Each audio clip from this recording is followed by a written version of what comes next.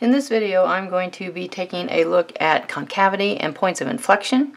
This is going to be part one of two because I'm going to focus on definitions and some tests and what's this going to look like pictorially and in video two we'll actually work out an example where we are doing it algebraically and we're finding the concavity and any points of inflection that might be there.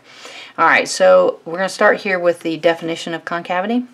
Alright we're going to let f be differentiable on an open interval the graph is of f is concave up on the interval if f prime is increasing and concave down on the interval if f prime is decreasing on the interval. Alright, so um, wordy definition, all written out in words, but there is something definitely to memorize out of this. The graph of f, alright, so f is concave up if f prime is increasing. All right, that's going to be something that you're going to want to remember later when you get into curve sketching. Okay, it becomes very, very important. All right, and then it says, and f is concave down on the interval if f prime is decreasing. All right, so definitely two very important things in that paragraph definition that you would need to memorize that really doesn't stand out when you first read it. You don't necessarily think of, oh, hey, I better pull something out of that definition to remember. Okay, um, then for the second one, is actually the test that we're going to use for finding concavity. We're going to let f be a function whose second derivative exists on the open interval. So as long as we can calculate that second derivative, we're in good shape here. If that second derivative is positive or greater than 0, then we know f is going to be concave up. If the second derivative is negative or less than 0, then we're going to know that f is concave down. Alright, now this whole concave down, concave up thing, just to give you an idea of about what this is going to look like. Alright, let's suppose I've got um, some random polynomial curve, maybe like that. Okay, that's my f of x curve. Alright, now what this is, is this is going to tell us what concave up and concave down is. Alright, think of this area right in here, alright, being concave down, because it's kind of trapping things in a downward motion. So here's your concave down area, and then right in here, okay, the graph has changed directions, doing something different. Right in here, you're going to have concave up. Alright, and then the point along the curve where it actually changes from concave down to concave up, that point is called a point of inflection. Okay, so there's our point of inflection. And we can actually, um, algebraically, and we'll do that in the second video, we can actually algebraically find that value specifically where the, the graph shifts from being concave down to concave up. Alright, now a little bit more. Um, I do want to make a special note here. Um, I teach out of a Larson textbook, and in that particular textbook, along with some others, all right, um, the, some textbooks require that the tangent line exists at the point of inflection. So they just kind of throw that into that definition of point of inflection. Okay, so I've drawn some pictures here that might help with that. All right, if this is my curve, I've got concave up here, I got concave down here, all right, but I can clearly draw draw my tangent line right there, my tangent line exists. Okay, now, uh, we do have to like be flexible here because these are hand drawings, so I'm not doing a very good job putting that tangent line on necessarily. Alright, maybe I had a curve that looked like this. Right in here is concave down, right in here is concave up. Alright, and I can draw a tangent line as it goes around there because it would then ultimately cross and go to the other side. And here again, just another one, another nice little smooth polynomial curve. I got some concave up here, concave down here, and somewhere in there, hopefully I've drawn that tangent line to look pretty decent. Okay, now, the tangent line requirement in that point of um, inflection definition takes care of a couple particular scenarios, and I'm going to draw those out right here. All right, let's suppose we've got some point C on our curve somewhere, and let's suppose our graph kind of looked like this, maybe. All right, with a distinct little cusp thing going on right there. All right, well, I've got concave up here. I've got concave down here. All right, but right here, I have no tangent line. I can't draw a tangent line there at that cusp. All right, so no tangent line, all right, means no point of inflection. All right, so no tangent line. I'm just going to do TL. All right, so C is not a point of inflection. Okay, from that scenario, C is not a point of inflection because I can't get a tangent line drawn. All right, now also we've got other functions that maybe kind of look like rational functions. All right, so maybe we've got horizontal asymptote going here, we have vertical asymptote going here, and we'll say that vertical asymptote there is at C. Okay, now a rational function could hug here, come down, hug down here, same thing up here, hug this asymptote and then come and hug this asymptote. Alright, so again, another picture of, well, clearly this right here is concave down and then I'm going to concave up. Okay, so then the debate is, okay, well, is C considered a point of inflection? Alright, well, when they have the requirement that there must be a tangent line present, then there is no tangent line at C. Obviously, that's a vertical asymptote. All right, C is not defined either. So that's important because C needs to be defined for there to be a point of inflection. But no tangent line, C is not defined, so you uh, C in this scenario is not a point of inflection. Okay, and so that just depends on what textbook you're using and whether or not they throw in that requirement of that tangent line. But in this short video, I just wanted to go over those definitions, give you those rules, make sure you wrote down, you know, second derivative greater than zero, then f is concave up, and second derivative less than zero, then con is, f is concave down. All right, and then same thing with that first derivative. When the first derivative is increasing, you got concave up. When that first derivative is decreasing, you've got concave down. So definitely some things you need to take some notes on about this and then go ahead and watch that second part so that you can see some of these problems worked out algebraically. Thanks for watching and don't forget to subscribe. In this video I'm going to actually work out a problem where we find the concavity and the points of inflection of a curve.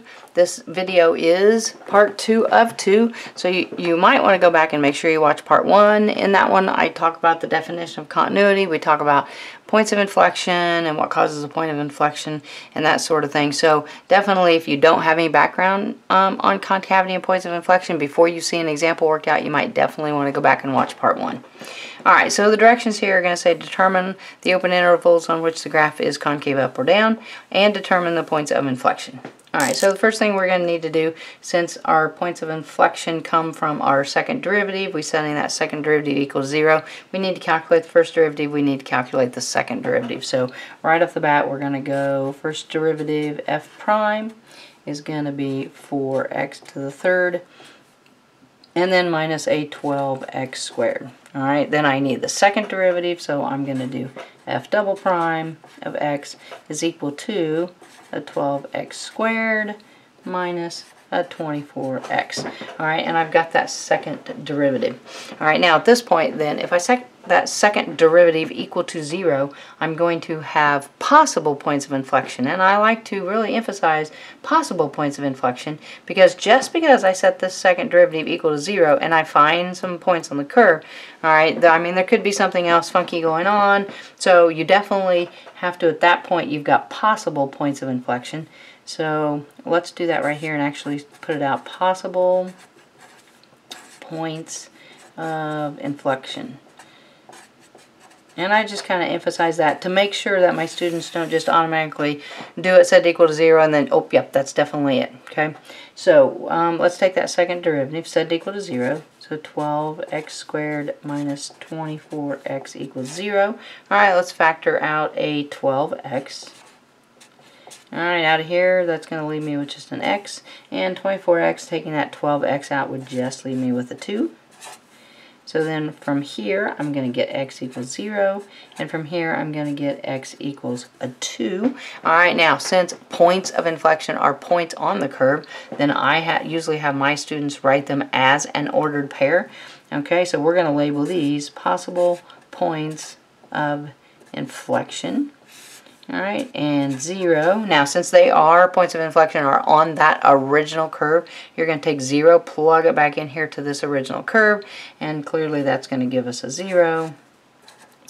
And then we're going to take that x equals 2, and we're going to plug that back into the equation, and you might need a calculator to do that. Um, it turns out to be a negative 16.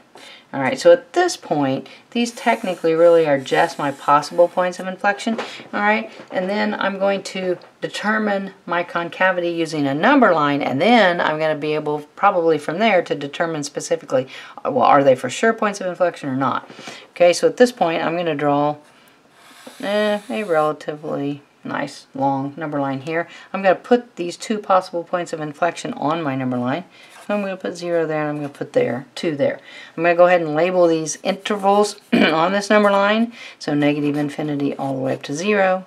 The interval here from 0 to 2, and then the interval from 2 to infinity. Alright, now what I'm going to be doing is I'm going to be taking a look at the second derivative first, and I'm going to be determining, well, is it positive or is it negative? And then that's going to tell me then what f of x is doing. So that'll give me my concavity. Alright, so if I want to know what my second derivative is doing here, I'm going to pick second derivative. I'm going to pick a number in this interval, and keep in mind I don't need to know the specific value, I just need to know mm, about. Okay, so obviously these are going to be negative numbers. So if I take a, say, a negative 1, I take negative 1 square, it's going to give me a positive 12 right there. Alright, and then times a negative 1 here with that minus right there it's going to give me some type of positive number. So my second derivative is going to be greater than 0. Alright, now in this interval, I don't know, let's pick 1 because 1's easy to work with. If I plug 1 in here, I get 12. I plug 1 in here, I get 24. So clearly that would be a negative value or less than 0. My second derivative will be less than 0 in this interval. Alright, doing it again over here, some positive number. Alright, I don't know, 3, 4, 5, whatever you want to do. This will be positive and pretty darn big, minus another number that's positive and probably going to be smaller than that. So I'm going to have, again, a positive second derivative. Alright, now that tells me then my original function, when my second derivative is positive or greater than 0, my original function is concave up. When my second derivative is less than 0, my original function is concave down. And then again, greater than 0 is going to be a concave up. All right, now, so now I can look at this concavity. All right, and the question is, at 0 and at 2, at my two possible points of inflection, well, did my concavity change? Concave up to concave down? So, yep, I've got a point of inflection at 0, 0, and it changed here from concave down to concave up, so I have a point of inflection here. Um, you might also want to definitely make sure and check that at those two points this function is actually defined. It's a polynomial curve, so it's smooth and continuous everywhere, so yes, it is clearly um, defined right there. So now let's kind of summarize everything that we've done here. So what have we done? Um, we can identify our open intervals for our concavity. So concave up on the intervals from negative infinity to 0 and from 2 to infinity. I can do concave down on the interval from 0 to 2. And then we've got, let's just go POI, points of inflection. Alright, are going to be at, we said 0, 0 because the concavity changes, and at 2, negative 16. Okay, so concave up, interval notation with open intervals, concave down, and points of inflection. So everything that the directions asked us to find. All right, now I might note, especially if you're in an AP calculus class because you're in high school, all right, doing this number line in and of itself is not justification for your work. So you can't just leave it here and then expect them to see concave up, concave down, concave up there, and then give you credit for it. If you are asked to identify concave up and concave down, you may use a number line, and you may use that to help you determine those intervals, but you actually do have to then turn around and write it down so that they can see it. So just a little tip there for um, anybody that might be taking that AP Calc exam in their senior year. Um, so um, definitely part two of two on this concavity points and inflections. Don't forget to go watch that first video. Hopefully you actually watched that before you watched this.